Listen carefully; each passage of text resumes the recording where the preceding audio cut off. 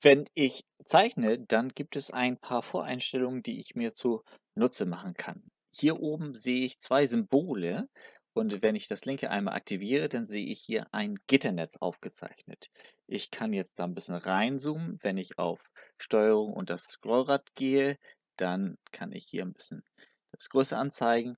Und diese Abstände hier, das sind voreingestellte Abstände, das ist 1 cm mal 1 cm jedes Quadrat und da sind äh, vier Unterteilungen immer, also äh, 0,25 cm. Und wenn ich jetzt zeichne und hier einmal das ähm, Rasterfangen aktiviert habe, dann sehe ich, dass ich immer ein Quadrat bekomme, was 1 cm, genau 1 cm mal 1 cm ist, oder dann hier mit einer Seitenlänge von 1,25 cm. Das heißt, hier, das springt immer um 0,25 cm.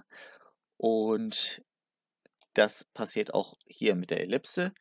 Da sehe ich auch immer, dass das in regelmäßigen Abständen dann springt.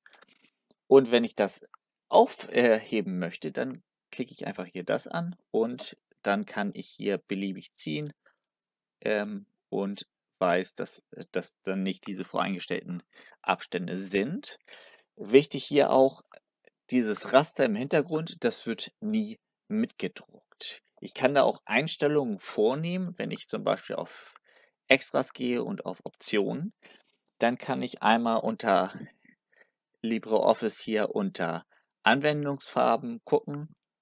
Da sehe ich dann einmal dass ich hier einmal bei meinem Textdokument das äh, Gitter verändern kann. Die Gitterfarbe, das ist, wenn ich äh, den Writer benutze, das ist meistens ein bisschen zu hell. Das kann man hier dann ein bisschen abdunkeln.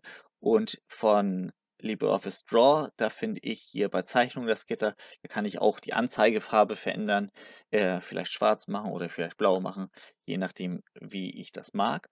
Und ich finde hier noch ein paar andere Einstellungen, die, die ich eben erwähnt habe unter LibreOffice Draw, hier unter Raster, sehe ich, dass hier meine Quadrate immer 1 cm mal 1 cm sind und dann diese vier Schritte, also immer 0,25 äh, als Voreinstellung dann zu sehen ist. Das kann ich auch abändern, wenn ich möchte, aber ich finde, das hat sich als sehr hilfreich über, ähm, erwiesen, diese Einstellung zu übernehmen und damit dann zu arbeiten. Falls du Fragen oder Anregungen hast oder einfach nur Material austauschen möchtest, freue ich mich, wenn du auf meinen Server bei Discord kommst, Mathe mit Draw. Den ähm, Link zu der Einladung, den findest du unter dem Video.